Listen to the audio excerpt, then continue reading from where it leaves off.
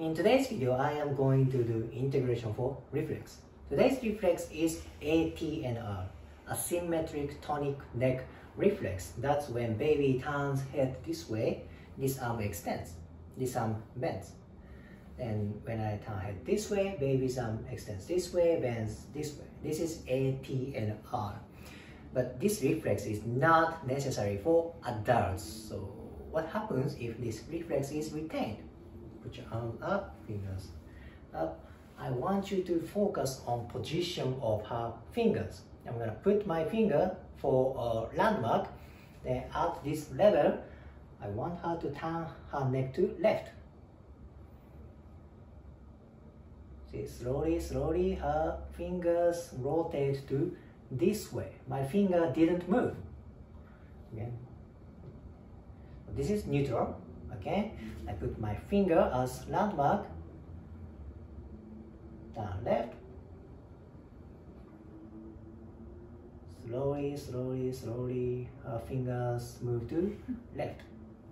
So this is positive of ATNR.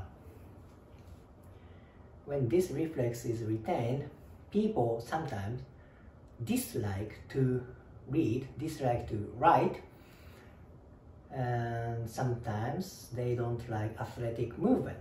They don't like running, they don't like ball game. This can be associated with ADHD. Not always, but this is high tendency that ADHD people have uh, this ATNR.